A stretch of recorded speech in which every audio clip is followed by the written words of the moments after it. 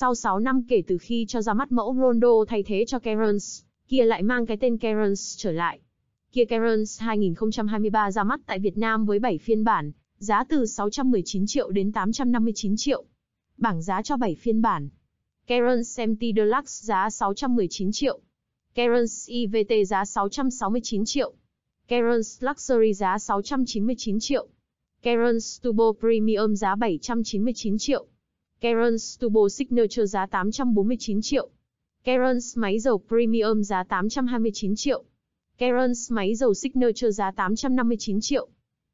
Kia Cairns thế hệ mới gần, như không còn chút nào liên quan tới đời cũ dưới tên gọi cũ là Rondo, từ thiết kế tới trang bị và hệ thống khung gầm. Cairns mới có kích thước nhỉnh hơn một chút so với các đối thủ như Spander hay Velos, với chiều dài 4.540mm và rộng 1.800mm. Trục cơ sở 2.780mm. Thiết kế xe theo phong cách SUV với phần đầu dài. Bản cao cấp được trang bị đèn LED gần như hoàn toàn trừ đèn sương mù sau. Đèn và gạt mưa bật tắt tự động. Mâm kích thước 17 in. Cairns mới ở Việt Nam, giữ được khá nhiều trang bị hiện đại như bản cao cấp bán ở Hàn Quốc, như đồng hồ điện tử, màn hình 10.25 in hỗ trợ Apple CarPlay Android Auto, âm thanh 8 loa Bose, khởi động từ xa, điều hòa tự động và đèn viền nội thất.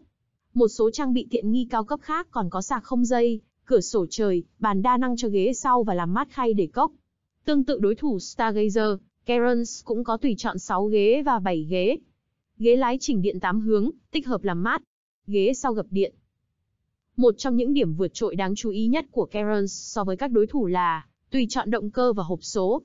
Xe có cả máy xăng hút khí tự nhiên, máy xăng tăng áp và máy diesel.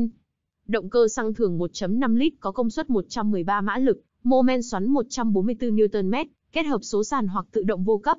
Động cơ xăng tăng áp 1.4 lít có công suất 138 mã lực, mô men xoắn 242 Nm kết hợp số ly hợp kép 7 cấp. Động cơ diesel 1.5 lít có công suất 113 mã lực, mô men xoắn 250 Nm kết hợp số 6 cấp. Về công nghệ an toàn, xe có các hệ thống hỗ trợ cơ bản như cân bằng điện tử, hỗ trợ lên xuống dốc, cảm biến va chạm trước sau, cảm biến áp suất lốp, camera lùi và 6 túi khí. Xét về trang bị tiện nghi, Cairns đang dẫn đầu phân khúc. Tuy nhiên, về công nghệ an toàn, mẫu xe này xếp sau Veloz. Từ năm 2019 đến nay, Spander vẫn đang dẫn đầu phân khúc về doanh số. Tuy nhiên, đã có những thời điểm mẫu MPV của Mitsubishi bị đối thủ bán vượt, ví dụ như tháng vừa rồi để Veloz vượt lên vị trí số 1. Phân khúc xe 7 chỗ cỡ nhỏ ngày càng đa dạng mẫu mã, tạo nên sự cạnh tranh gay gắt giữa các tân binh như Cairns, Veloz và Stargazer với các mẫu xe đã có mặt khá lâu trên thị trường như Spander, XL7 và Ertiga.